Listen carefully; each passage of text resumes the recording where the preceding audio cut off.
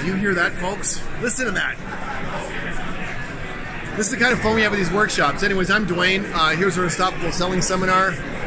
They're working hard on themselves and working hard in their business. It's going to be a great day, my friends. See you later.